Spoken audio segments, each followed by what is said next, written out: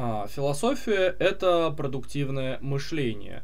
Что такое продуктивное? Продуктивное в данном случае творческое, то есть что-то новое, да? Что-то, что создает философия, создает что-то новое. А мышление это, то есть, ну, область, в которой создаются идеи буквально.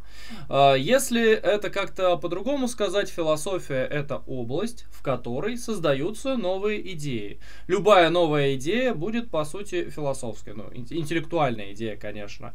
Не всякая идея, да, то есть идея какого-нибудь двигателя, она не философская. А вот идея того, как устроен мир, вполне так себе философская. Идея того, как нужно себя вести, как устраивать общество вокруг себя, э, не знаю, из чего состоит природа, какие в ней законы, это вполне философские темы, если что.